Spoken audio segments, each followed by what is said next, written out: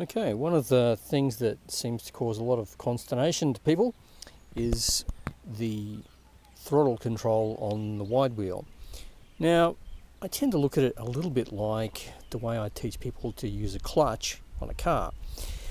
So, you don't kind of have to pick the take up point on a clutch on a car with the motor stopped. The motor's usually running. So, equally, I think that having kick to go enabled meaning that you can't just press the button and it goes, gets in your way of actually feeling this take up point. Now, basically, what Kick to Go is really designed to do is to prevent you from just standing on it like a sack and then hitting the go button and falling off. But us scooter riders are a little bit smarter than that, so we already know that you know to get going on a scooter, you put your foot on the scooter and you you kick with your foot and away you go. So we already know that. We already do that. So take kick to go off, and then as you're pressing it, you can exactly feel when that, that, that take up point is.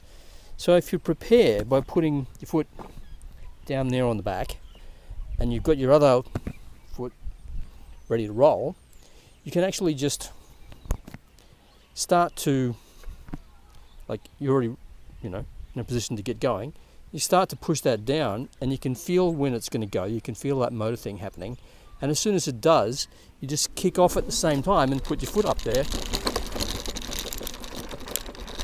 And you're good to go.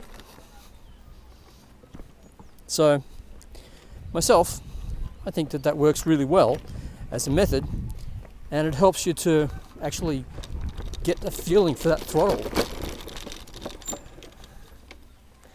It's not that difficult when you do it that way.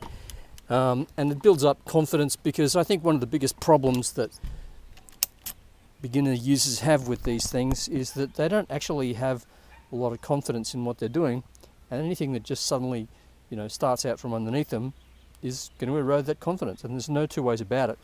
With two 500 watt motors, this thing's got plenty of startup power. So, yeah, hopefully that helps someone.